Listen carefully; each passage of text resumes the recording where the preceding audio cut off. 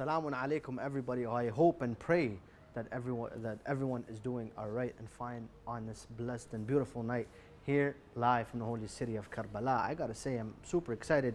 Uh, Alhamdulillah, coming to you live, 19th episode of the special Ramadan series, uh, of course, on hashtag LNT. But tonight's topic uh, is about something that we do only when we're going through hardships and forget about it when uh, when everything's going all right and uh, going smoothly. But I'll, I'll leave you guys think about that for a sec while we go and check out what's trending and be back very soon.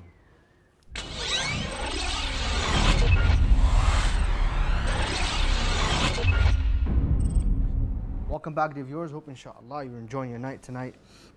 Um, but um, special news for the Muslims living in, uh, in America. Donald Trump uh, is hosting a dinner at the White House trying to celebrate Ramadan, uh, inviting Muslim uh, leaders and stuff uh, in, in the US. This event uh, was not held last year, uh, breaking uh, nearly two decades uh, of uh, Bill Clinton, John W. Bush, um, George W. Bush, John, uh, George W. Bush, uh, and Barack Obama. So um, he also did say last year, he also wished everyone a Ramadan uh, Mubarak uh, to all the Muslims uh, living in America. It's, it's, it's a good step.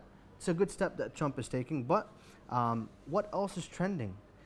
There's been a auction for about five days online, five days in a row, uh, to raise funds uh, for the homeless, for the sick, for HIV, hepatitis C treatments, um, a dinner with uh, Warren Buffett, um, just to uh, raise, and they've raised 29 million dollars to Glide, uh, a, ch- a charity foundation. Just a, a simple dinner with him.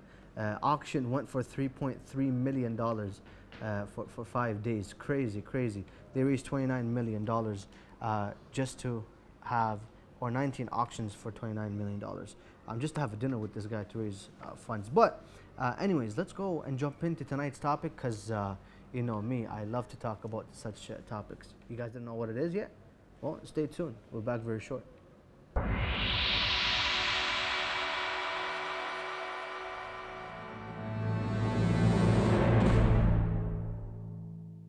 Now, let's be honest, guys. When we're healthy, living life perfectly, everything's going well with the family and work, we neglect one simple thing, and that's prayer. Rarely do you find a healthy person praying for his health because really he's living at the moment. When was the last time you seen an employed person praying for a job because he's living in the moment where he has a job? Now, however, if the, if the table was turned and uh, things start to go downhill, person isn't having that luck anymore, arguments with the wife and with the family, messages coming to me right now on WhatsApp for the show. Don't send it to me, send it to uh, hashtag LNT soon. Uh, but the car needs frequent maintenance. Your son's catching a bad cold. Everything is going wrong. You feel like you're depressed. Anxiety goes up. All of those, when they happen, not all of a sudden, not altogether, but if they happen within a year, within a month, within a week, God forbid, you start turning to God. You go back to God, praying to Him, so everything goes back to normal. This is instinct within human nature. But how do we know if our prayers are actually going to be answered or not? Why do we only pray during the times of hardship? And this goes out to me, so I have to answer that tonight along with you guys. And that's your question for tonight. In three, two, one, mashallah. How effective is prayer? How simple question. How effective is prayer? Do you think it's effective? Participate. If you think it's not effective, also participate. How? By opening your phone, going to WhatsApp, dialing the number shown right now, plus 964 774 067 1836, and save that number in your contact. Hashtag LNT show so you can get the, the daily updates. But um, you can participate by calling, texting, sending a voice message. We are, we are also live on Facebook, so you guys can go watch us there. Give that thumbs up, share, like, do the, all the good stuff. Because whoever participates in tonight's show by commenting on the live feed on Facebook, by participating by calling, texting, and sending a voice message to that same WhatsApp number, your names will be written down on this slip, on this sticky note right here, placed in this fishbowl for a chance to win a free trip to Karbala exclusive on our house along with many many giveaways to those who also participate. Now let's take a very quick break and come back to talk about more of how effective is prayer.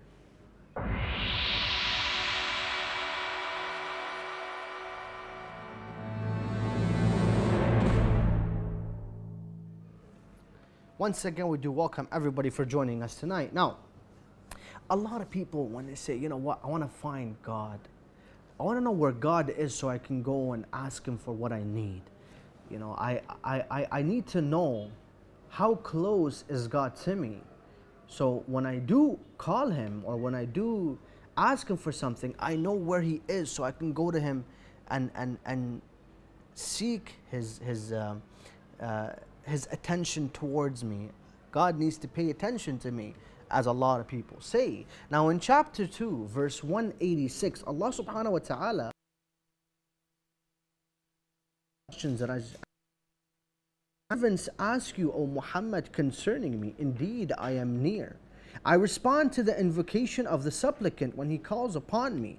So let them respond to me by obedience and believe in me that they may be rightly guided chapter 2, verse 186. This is very, very important for us to answer the questions I just asked a bit ago. Now, the same verse, the exact, the exact same verse, but in different words, is found in Psalms 145, 18 to 20. The exact same verse in the Bible. And I quote, The Lord is near to all who call on him to all who call on him in truth, he fulfills the desires of those who fear him. He fears, he hears that, he hears their cries and saves them. So the exact same verse in the Quran in chapter 2 is found in Psalms in the Bible 145 18 to 20 but we did receive a call we were getting a call from Muntadhar from Canada Assalamu alaikum Muntadhar welcome to hashtag LNT and the question for tonight. Salam, brother. How are you? Alhamdulillah. Alhamdulillah. How are you? Your question for tonight. How effective is prayer? Alhamdulillah. First of all, alhamdulillah. ajurakum. Wa ajurakum, inshallah. Wa ajurakum, inshallah. And uh, as for your question, uh, prayer, uh, especially concerning our hadith, it tells us that it's effective because if we keep on doing it at a constant time and not just do it when we want something. Mm-hmm. Because Allah subhanahu wa ta'ala says in the Hadith Qudsi that my slave, if you speak to me, I will answer you. So if we keep it at a constant pace and not just do it when we want to do it, which is usually the problem, mm-hmm. it is effective. Mm-hmm. And we do it out of love too and not out of desire. Yeah, yeah. Uh, if, that's all I have to say. Yeah, but the one thing you mentioned earlier is about no. uh, you know constant, constantly praying to God. If a person prays once to God, will his prayer be answered? I mean, you you can say yes, it's answered. Allah's answering his prayer no matter what. Mm-hmm. But uh, once is not enough, right? You have to establish a connection. When you're in yeah. love with somebody, you're going to be texting that person, calling that person 24 seven. Yeah. You know, if you yeah, the girl that you like are you gonna text her once and that's it? You know, it's you gotta keep uh, the connection has to keep on going. Yes. Yes, thank you very much, Muntadhar so, from Canada, for joining us tonight. Beautiful thank answer. You thank much. you very much. Your name is written on the slip, and inshallah, we place in the draw to win a free trip to Karbala. Once again, thank you, Muntadhar, for joining us tonight. Now, going back to tonight's question how effective is prayer? So just like Muntadhar, he mentioned to us that there's needs, there, there needs to be a connection with God in order for someone's prayer to be effective uh, and to have an effect on um, his life or on the situation that uh, he may be in. Now, we do remind everyone to participate by uh, calling via WhatsApp, so it's toll free. You don't need to spend any money, toll free. uh, by sending us a voice message, text message, uh, or calling via WhatsApp, or commenting on our live feed on Facebook as we are live. Now, a lot of people they sometimes wonder how powerful is prayer. The power of prayer or prayer has the most powerful connection and has the most powerful form of energy that man can ever generate. If you look at a prayer, and especially, especially if a person is going through a hardship where someone is oppressing him, Prophet Muhammad says, fear that oppressed person's prayer because it can be demolishing for careers, for reputations, for, for anything. So that's very powerful uh, for prayer. Now, it also has a much wider role on our lives or in our lives than many can think or many can realize. You know, and especially in the present times when uh, we see the extensive um, the extensive uh, influence of materialism in our world today, we see even religious people, all due respect to everyone out there, even religious people are not really getting the full understanding or are not understanding the, the, the influence that prayer has on them or on the situation that they are in. So sometimes they become neglectant and they, they start um, resorting to other things. Now, as a matter of fact, prayer, as I mentioned earlier, is instinctual within our nature, within humans' nature.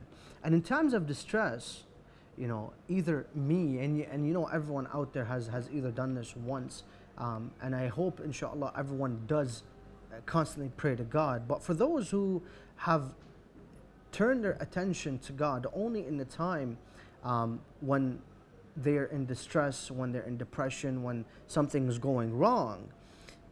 And Allah subhanahu wa ta'ala has placed that instinct within the humans to make them understand how important it is to, to create that connection between the man, between um, the woman, and the Lord. This is very important as well. Now, the Quran has also noted about this instinct. Within chapter 10, verse 13, Allah subhanahu wa ta'ala states, And when trouble befalls a man, he calls upon us, lying on his side or sitting or standing. But when he or but when we have removed his trouble from him, he goes his way as though we had never or he had never called on us for the removal of the trouble that befell him.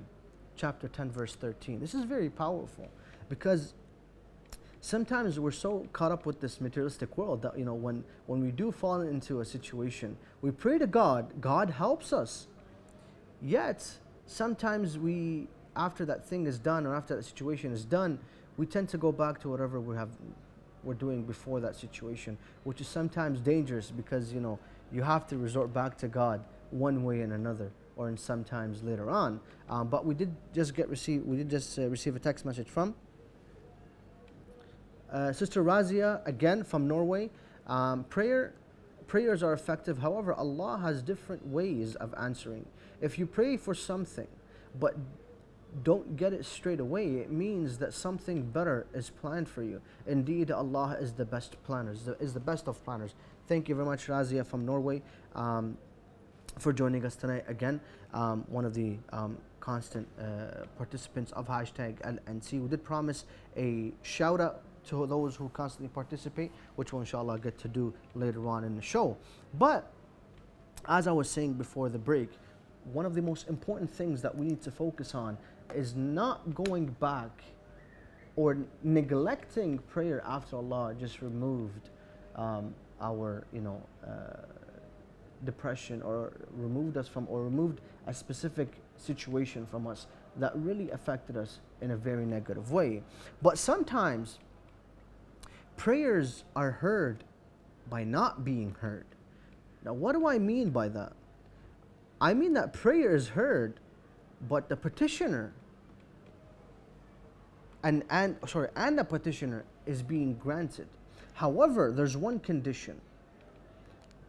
it has to always, as Razia mentioned, it has to be to his most beneficence, to his um, uh, betterment of that individual, for the most appropriate prayer. For example, if a person prays to God, you know, he's, he's driving that Lamborghini or whatever, a, a Range Rover, and he prays to God, he sees a Lamborghini. He's not appreciating the car that he's in. So what he does is he starts becoming envious and starts wishing for that car. And if he doesn't get that car, he thinks that God is not listening to him, not appreciating the moment that he's in, which is very dangerous in, in, in a few moments. But um, we just received a text message from Diya from Canada. He says, uh, Bless you on these sacred nights. Bless you as well, Diya. Uh, prayer is effective as long as Allah loves to hear our voices. It all goes back to us. Are we going, are we doing this out of, are we doing this out of want or out of love for our Lord? God bless the IHTV team and God bless hashtag LNT. Thank you very much, uh, Liat from Canada, for joining us tonight.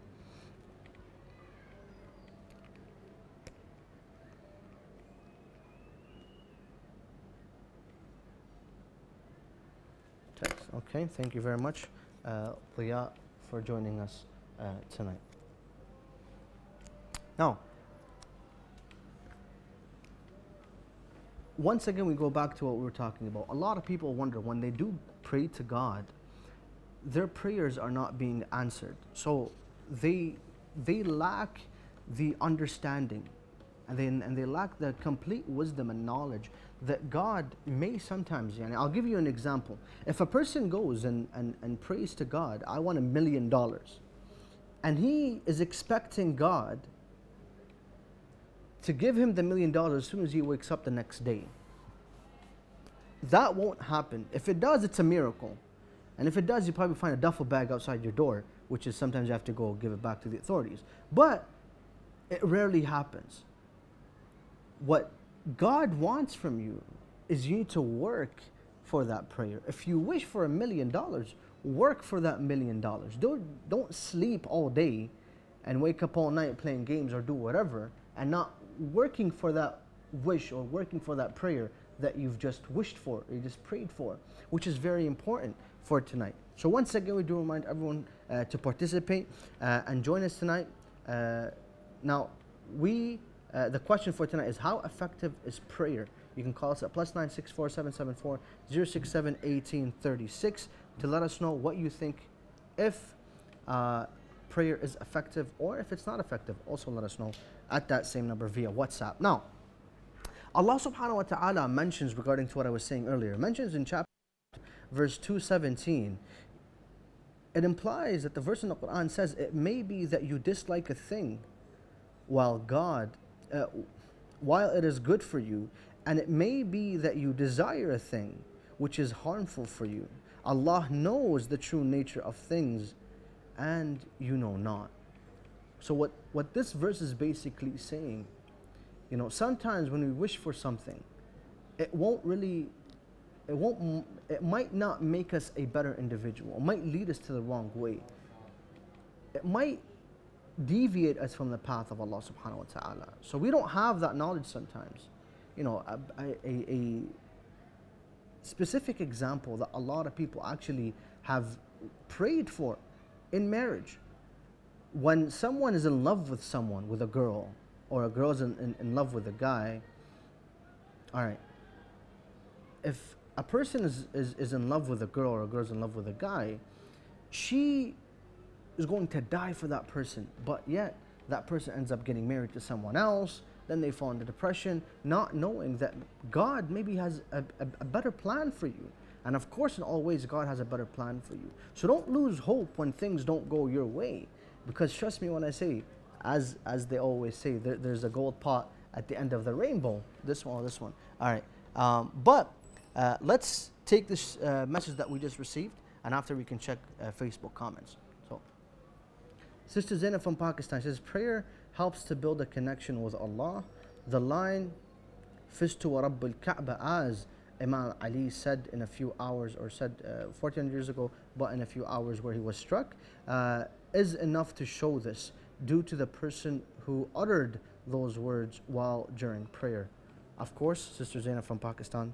Uh, oh, her name has already been placed into the bowl, uh, so shout out to her as well as uh, to all those who uh, have joined us tonight. But let's go and see what the expert has for us tonight uh, and see how effective is prayer according to Sayyid Hussein Al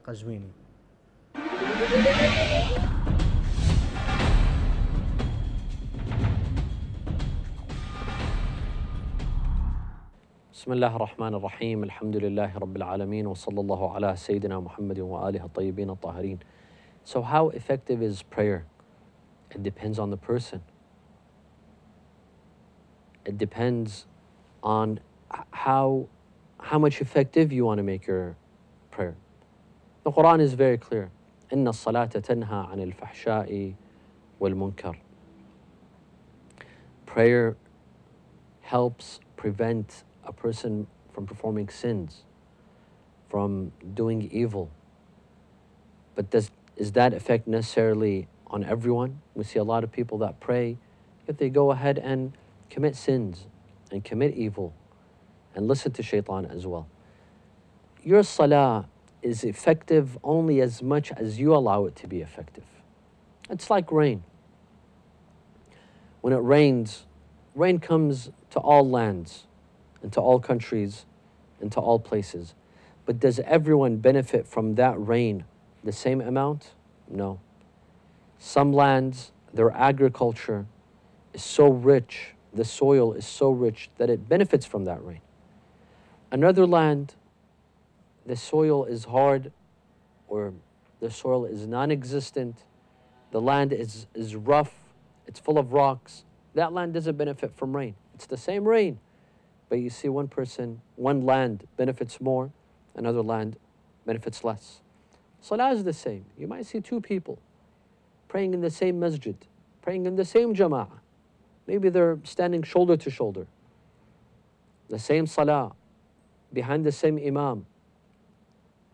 Yet one of him, his salah is so effective that gives him spiritual energy that allows him to be connected to Allah all the time his mind, his body, his heart. Connected to Allah Azza wa Jal. This person doesn't commit sins. He guards his, his eyes, his ears, his tongue, his senses, his body parts from sinning. While another person, as soon as he leaves the masjid, the sins start. What's the difference? The difference is the first person, he benefited from his salah. He concentrated in his salah he allowed salah to have an effect on him. While the other person, salah for him was an exercise. Stand up, sit down, prostrate, bow down, move his tongue. His mind was roaming somewhere else. He wasn't connected to the salah. So it depends. Two people go to the same salah and pray behind the same imam, uh, behind the same imam. It doesn't mean their salah is the same Your salah is effective only as much as you allow it to be effective. الحمد لله رب العالمين وصلى الله على محمد وآله الطاهرين.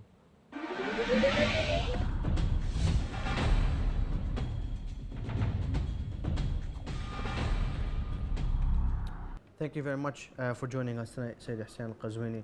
Uh, uh, once again, we do thank him for joining us tonight. Um, now, Sayyid Hassan Qazwini also talked about a very important point, uh, which is also related to prayer. Another way of connection to God is salat, prayer that an individual needs to um, have in order for his prayer uh, to be uh, accepted.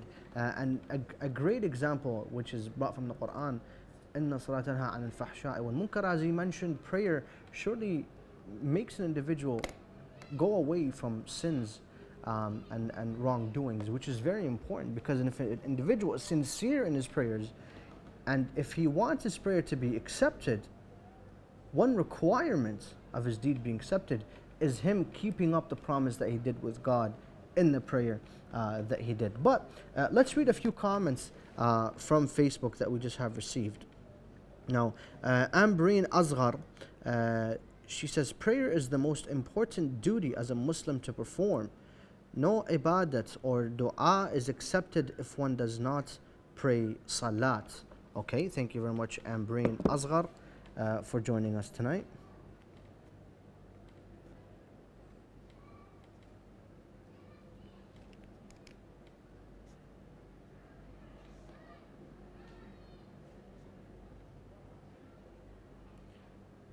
Nineteen. Okay. Thank you very much, uh, Ambreen, uh, Asghar. Now, uh, we'll go uh, through the other messages as well very soon. But uh, a lot of people don't understand one thing or uh, haven't really paid attention to one thing regarding prayer. Prayer also has a psychological effect on the individual as well. Now, Dale Carnegie, um, this person right here, let, let's check him out. So, uh, Dale Carnegie, he says that I found prayer as the perfect way to conquer anxiety. Writing about the psychological benefits of prayer, and he writes, and I quote, even if you are not a religious person by nature or training, if you are, if, even if uh, you're an out and an out skeptic, skeptic, uh, wow, I can't read today, wow, uh, skeptic, prayer can help you much more than you believe, for it is a practical thing. What do I mean by practical? I mean that prayer fulfills these three basic psychological needs, which all people share, whether they believe in God or not.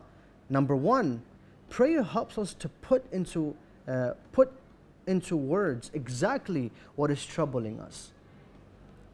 This is very important as well because the, one of the connections you need to mention everything to God. Number two, prayer gives us a sense of sharing our boundaries. Uh, uh, sorry, sharing our burdens of not being alone. Number three, prayer puts into force an active principle of doing. Three main principles that have a psychological effect in uh, prayer, which is very important as well. So, as you mentioned earlier, tonight uh, is the first night of, of Qadr, the first night of destiny. So, what that means, Allah subhanahu wa ta'ala mentions in the Quran, Laylatul Qadr khayrun min alf shahr. The night of destiny is greater than a thousand years, which is approximately, give and take, th- thousand months, which is give or take 83 years. So, praying on this night and supplicating to God and requesting from God anything you need with a sincere heart, of course, Allah subhanahu wa ta'ala will grant you a lot and will give, inshallah, will give you everything uh, you need that's in your benefit, of course. Well, that's it for tonight, guys. Um, thank you uh, to uh, thank you to those who have participated in the episode uh, tonight, and we're giving a special shout out. We didn't get time to give a special shout out for those who are uh, constantly participating, but inshallah, in the upcoming episode, we will definitely, uh, because the names are written down, but inshallah, in upcoming episodes. Uh, that's it for tonight. Thank you very much. Wassalamu alaikum wa rahmatullahi wa barakatuh.